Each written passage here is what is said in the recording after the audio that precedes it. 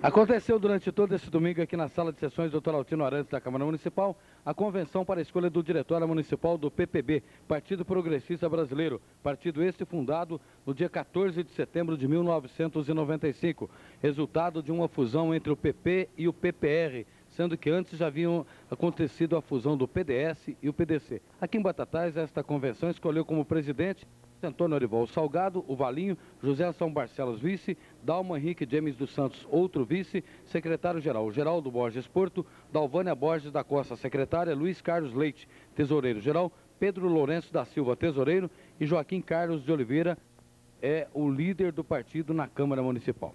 Se transcorreu normalmente, Valinho?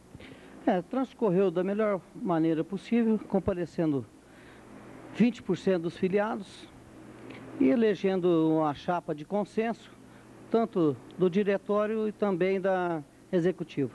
Valinha, essa convenção foi somente para a escolha do diretório. Não tratou-se aqui, obviamente, ainda de eleições municipais para outubro. Nós não tratamos, mas pretendemos fazer novas reuniões para tratar, possivelmente, ver se viabiliza a candidatura a prefeito de um, do próprio partido, indicar um candidato a prefeito. Geraldo Borges Porto é eleito ex-secretário-geral do PPB. Fui convidado pelo Valim, por outros companheiros do PPB.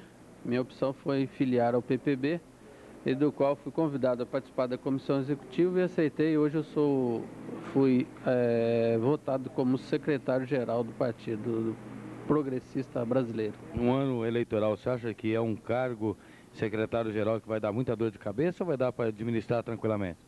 Bom, o cargo de secretário é interessante porque a gente já exercia vários tempos outros cargos de secretários, dá para exercer sem muita dor de cabeça. E a gente está aí junto com o pessoal, sempre escutando e, e aprendendo. É mais um passo que a gente está aí na, na, na, vida política de Batatais, a gente tem mais a colaborar. O engenheiro doutor José Marcelo Baldock, como é que o senhor vê essa convenção? Não poderia deixar de acontecer em Badatais pelas tradições políticas que tem aqui o PDS, principalmente PDC, de aderir à formação do, desse novo partido que resultou da reunião, de outro, da fusão de outros dois partidos, que era o PP e o PPR.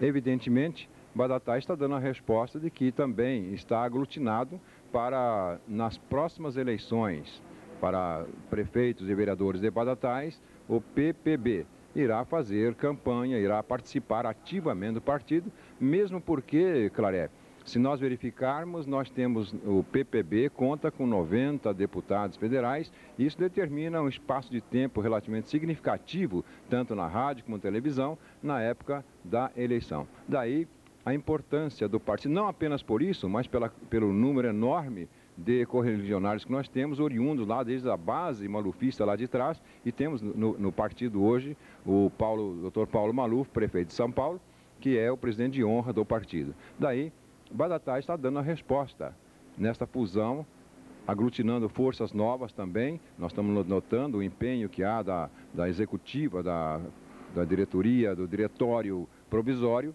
em arregimentar pessoal. E correu a, eleição de hoje, muito tranquila, muito, muito cívica e muito democrática. Daí, acreditamos que a força do PPB em Badatais deverá ser sopesada e com bastante respeitabilidade.